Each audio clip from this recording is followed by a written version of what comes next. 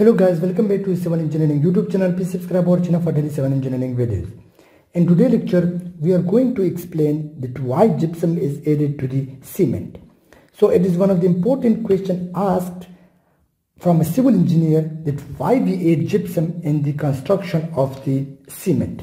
So gypsum is basically gypsum is basically calcium sulfate dihydrate this is the general this is the general formula for the gypsum which is calcium sulfate CaSO4 dot dihydrate two times water. So this is the formula for the gypsum. And why we add gypsum to the cement?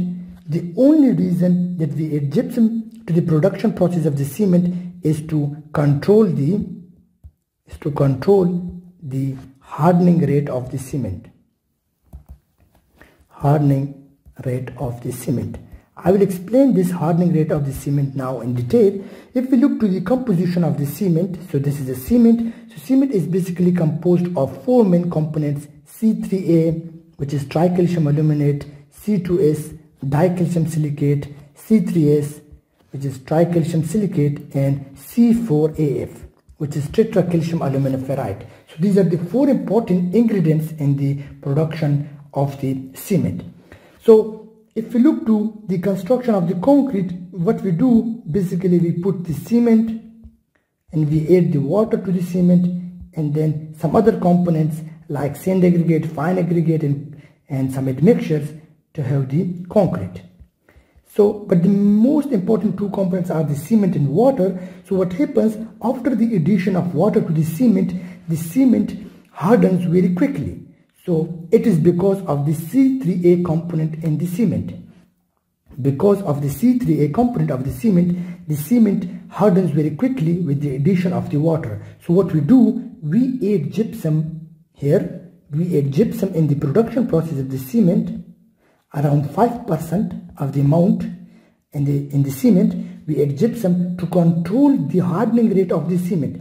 Now by the addition of the gypsum, what happens the C3A reacts slowly and it increases the initial setting time of the cement.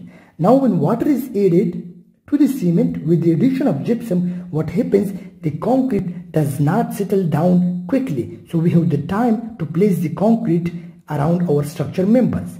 So to increase the setting time of the um, uh, cement or the concrete we always use 5% gypsum and 95% is clinker where clinker is the component of the cement. So 95% is clinker used in the cement and 5% is gypsum used. And the reason of providing gypsum is to reduce the hardening rate of the cement. Because of this component, we have higher rate of hardening of the cement, C3A, tricalcium aluminate. So gypsum reduces hardening rate and increase the initial setting time of the cement. And now we have more time for working with the cement or with the concrete.